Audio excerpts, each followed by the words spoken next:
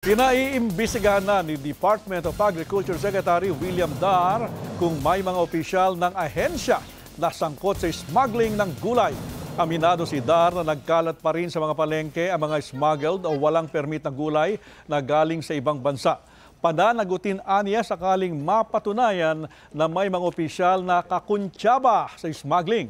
Umaalma na mga magsasaka na nalulugi na sila dahil sa kompetisyon sa imported na gulay. Sa Divisoria, Maynila, talamak ang bentahan ng imported na bawang, sibuyas at iba pang agricultural products. Aminado ang mga nagtitinda na marami ang bumibili nito dahil mas mura at matagal na nabubulok.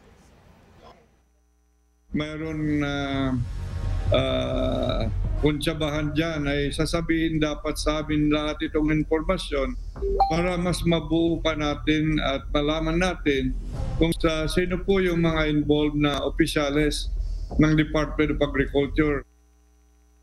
Samantala sa Benguet, bukod sa mga magsasaka, apektado rin ang mga trucker sa pagbuhos ng smuggled na gulay.